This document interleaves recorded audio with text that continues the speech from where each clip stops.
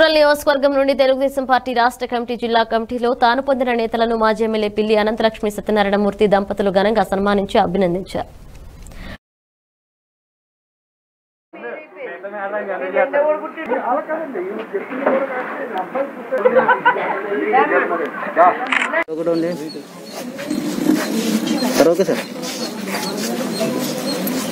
అందరికీ నమస్కారం. ఈరోజు రాష్ట్ర Telugu Desam party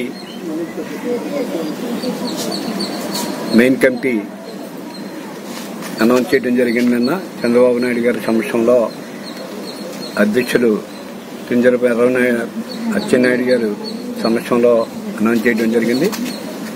Kakinada rural నుంచి డిప్యూటీ మేయర్గా ఉన్న కాళా సత్యబాబు స్టేట్ కమిటీ సెక్రటరీగా నియమించడం జరిగింది.